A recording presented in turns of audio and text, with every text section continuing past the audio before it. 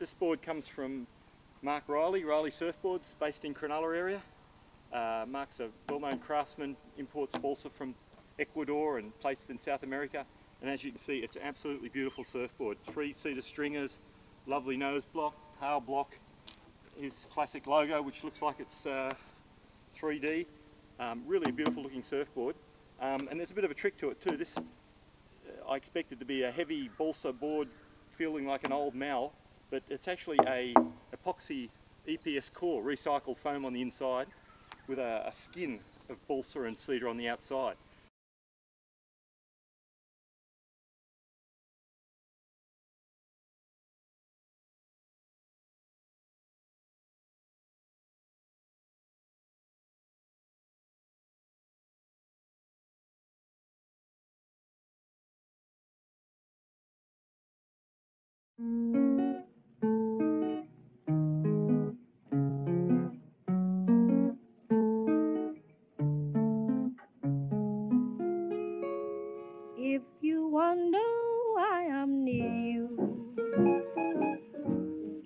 Even though I've been denied, I'm inclined to be a little on the sentimental side. I suppose I should forget you if I had an ounce of pride.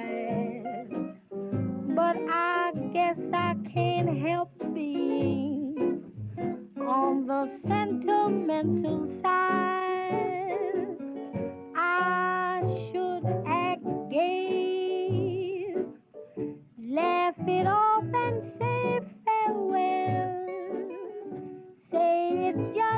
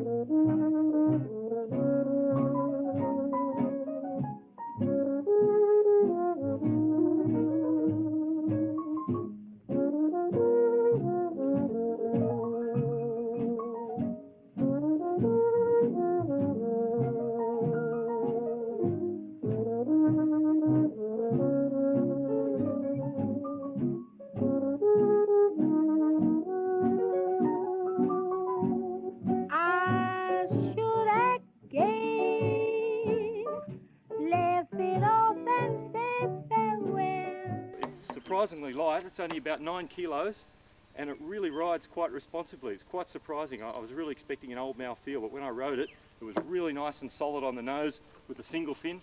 Um, but it was actually a good turner as well. It, it actually rode really nicely. I was um, very surprised at how, how responsive it was and how good it was uh, all up and down the boards. forget you if I had an ounce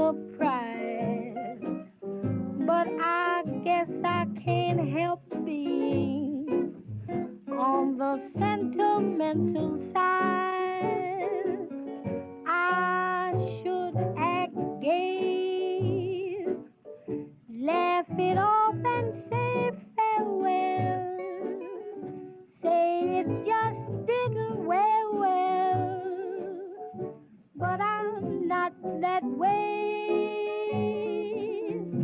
I'm in hopes you'll think it over and perhaps. Oh, first impressions was it was beautifully crafted. It's like something that should be on the wall, but what the hell, I'll go and surf it. Because it's a, an epoxy core with a balsa veneer, um, the unique design features were that it was there was some shaping involved in, in bringing all that technology together. So it was slightly different in the rail shape to some of the other boards, but it was a conventional single fin, beautiful surfboard. It actually went really well. It uh, It was really solid on the wave. It was a really good nose rider. Um, it turned well. It's a great board. On the wave face, I would say it, it nose rode best. Uh, this board would be a gem for a down the line wall like Crescent, somewhere with a lo- nice long point. Uh, it suits a surfer that wants to put something under his arm that he's really proud of that, that looks like surfing. It's, it's got heritage in it, but still is good to surf in the water as well. Uh, this, this, if it was a car, it would definitely be a classic Woody with a big V8 under the hood.